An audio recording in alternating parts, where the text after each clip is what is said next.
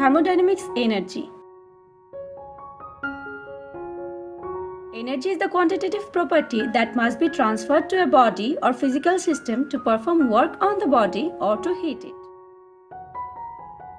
The SI unit of energy is the joule. The term energy was coined in 1807 by Thomas Young and its use in thermodynamics was proposed in 1852 by Lord Kelvin. Thermodynamics deals with the transfer of energy from one place to another and from one form to another. The energy can be transferred in two ways. One by doing work and another one is by heat transfer. As we know, heat is the transfer of thermal energy between systems and work is the transfer of mechanical energy between two systems. Now let's talk about work. In thermodynamics, we can say that work is the transfer of energy from one mechanical system to another. The SI unit is the joule.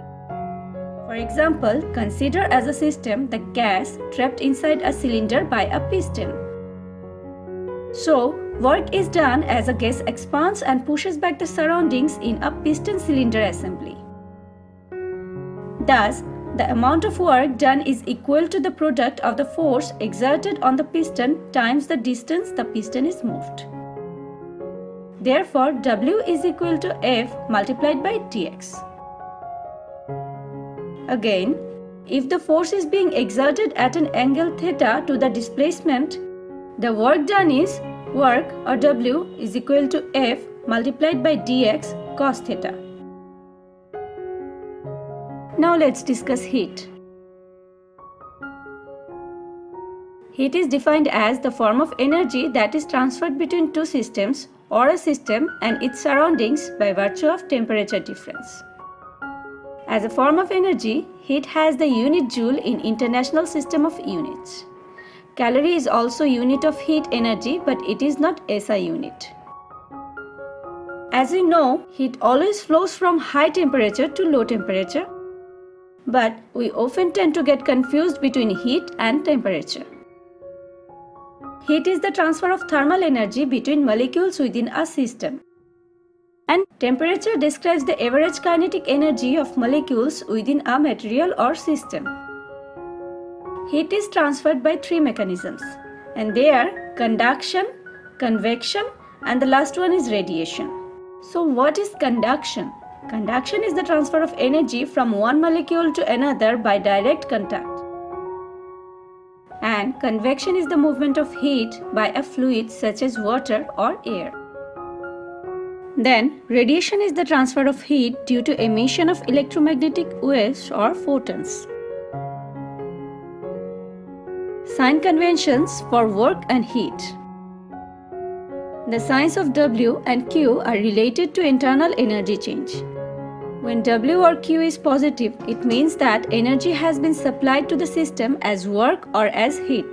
Thus, the internal energy of the system in such a case increases. Again, if W or Q is negative, it means that energy has left the system as work or heat. So, the internal energy of the system decreases.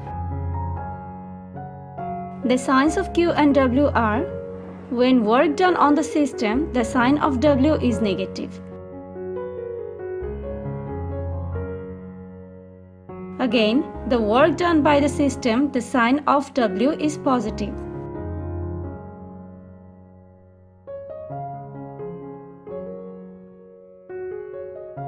When heat evolved by the system, the sign of Q is negative and heat absorbed by the system, the sign of Q is positive.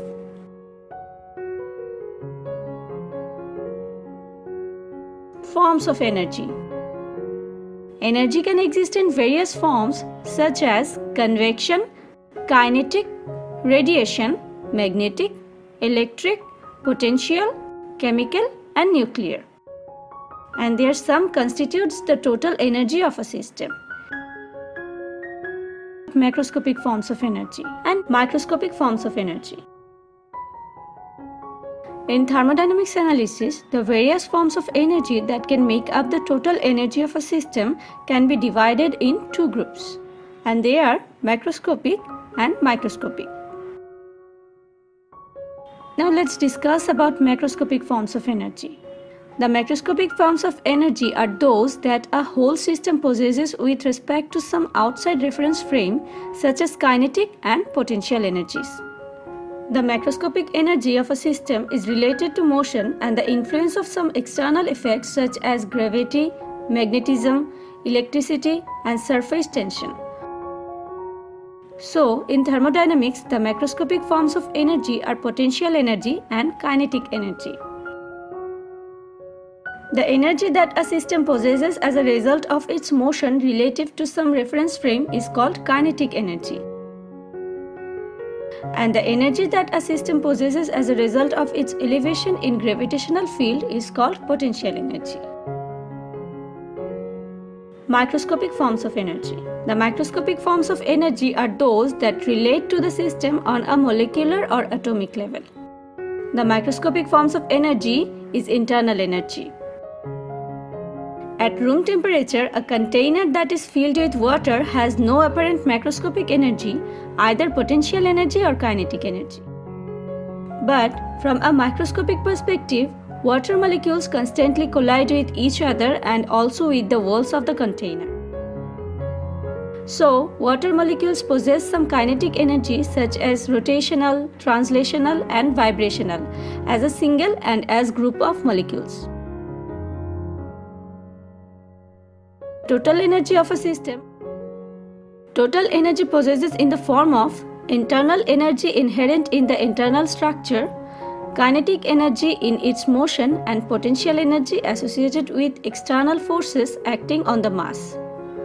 So, total energy is equal to microscopic energy plus macroscopic energy.